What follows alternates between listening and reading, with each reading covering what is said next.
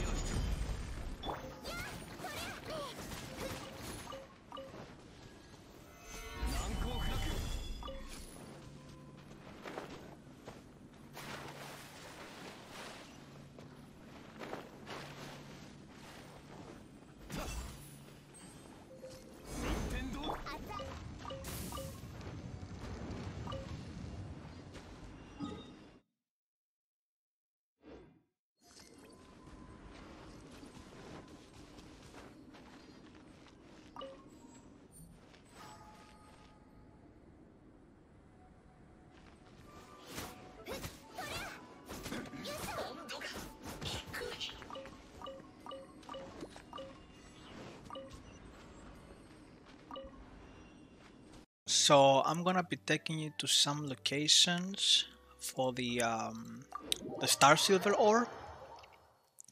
Now, I already collected these, so uh, I'm not exactly sure how many you'll find. I know um, that there's a lot of them here and a lot of them here. But apparently I've marked one right over here, so I'm gonna take you to it. I don't know how many uh, there are here, if you haven't found them already. But if I marked it, that probably means there, there should be plenty. So I assume it should be around here. Um, check up, check on this mountain, on this hill, right around this area. Now the other one, there's actually a lot of them, it's around here, but um, we need to go to this teleport. Excuse me if I'm sounding retarded, I actually haven't slept much grinding this game. So, you go to this teleport, you enter the cave if you haven't so already. And maybe there are some here, I don't remember, or here. Uh, but there's definitely a lot of those, I remember. There's also some um, I think some uh, Ruin Guard you need to fight here.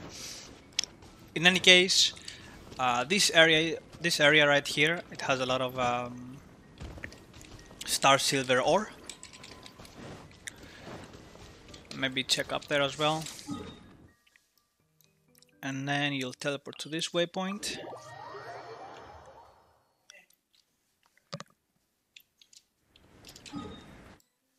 And you're gonna head over there.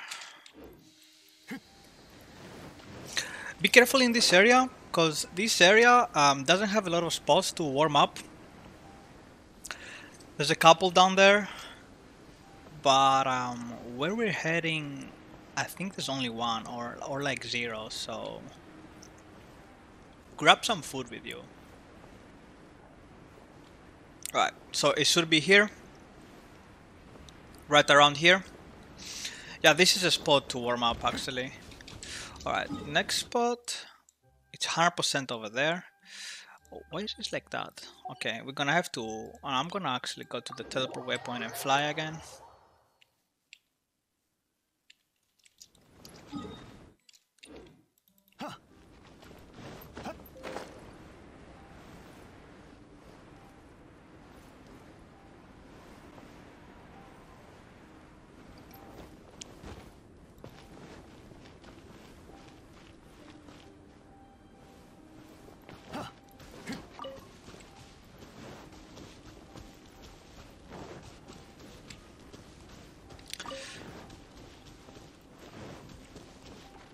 Alright, so you're gonna head over here.